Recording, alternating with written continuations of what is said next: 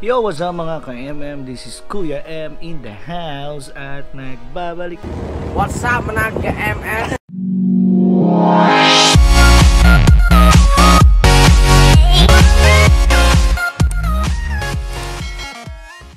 Yo, what's up mga ka-MM? Kuya M in the house at nagbabalik. So, for today's video, nakita nyo naman kung ano ang aking nasa harapan. Dalawang sapatos, nabasa nyo yung title ko. So, alam nyo na kung ano to. At sa mga hindi pa nakakaalam guys, lalong-lalo na dun sa mga hindi pa nakakapanood ng live stream ni Kuya M, ito ay para sa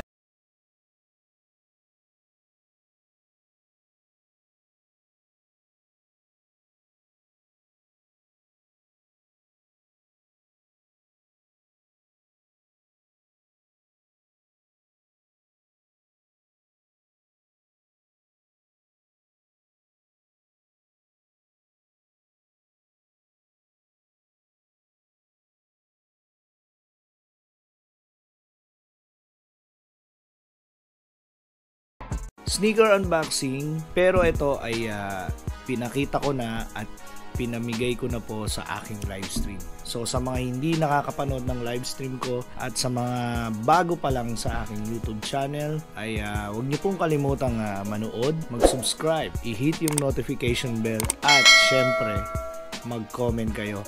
Mamaya po ibibigay ko sa inyo kung anong meron sa aking mga videos. So, simulan natin dito sa pink. Marami pong may gusto nito. By the way, ah, gusto ko lang po sanang liwanagin sa inyo na ito po ay OEM. Hindi po siya original. Siya po ay OEM. And gusto ko po sana magpasalamat sa sponsor na si Shinli sa walang sawang pamimigay ng ating ah, giveaway na sapatos sa aking lives. Kaya simulan na natin dito. A few minutes later. So ito ang tinatawag na Nike SB Dunk Low Pink Pigeon. Actually, ang tunay niyang pangalan ay Staple X Nike SB Dunk Low Pink Pigeon.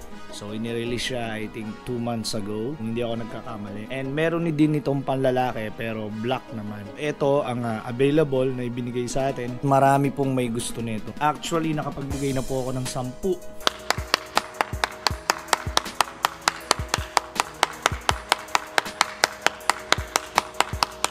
sampung pares. Okay, sampung pares sa aking live stream. Kaya kung hindi pa kayo nanonood ng live stream ko, tumutok lang kayo. Sigurado magkakaroon kayo ng sapatos. Start na natin guys. Alright. Iyan. Grabe. Actually, ito napaka-solid eh. No guys, buksan natin. Ayan. Ipakita natin. Alright. So, sasabihin ko sa inyo kung ah, kung ano yung aking ah, first impression dito sa sapatos na to. No? Kung mapapansin nyo guys, sobrang ganda ng detalye niya kahit isa lang siyang OEM na sapatos. No? Hindi siya perfect, pero yung klase ng ginamit sa kanyang materyales ay sobrang sobrang kahalintulad ng original yung kanyang toe yung kanyang insole. Grabe di ba? Yung kanyang outsole di ba?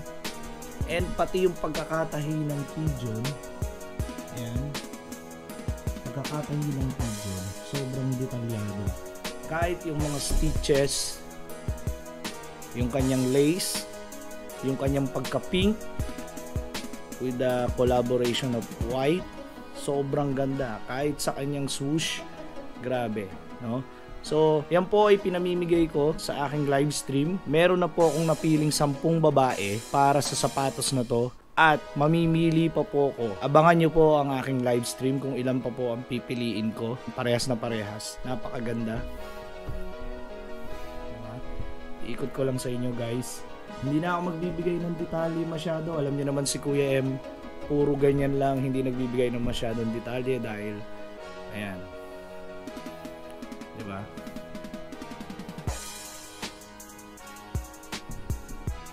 Alright. Sobrang ganda. No? Sobrang ganda. Maraming nagagandahan dito sa sapatos mo. Okay, let's proceed sa another unboxing which is alam na alam nyo naman kung ano na to, no? Pero ito din ay OEM. Magtataka kayo, sa isang YouTube channel, meron nagbibigay ng OEM na ganito. Nakita nyo naman ang box. Okay. Grabe, sobrang ah, sobrang ganda nito at sobrang ah, astig. Ah. guys, Jordan 1 Dior Low. Okay, kung kung nap, kung napapanood niyo po yung aking ah, mga previous videos, yung mga videos ko nung una, meron po akong Jordan 1 Dior High which is yung unang-unang example ng Jordan 1 Dior High. So ito po ay ah, Dior Low pero siya po ay ah,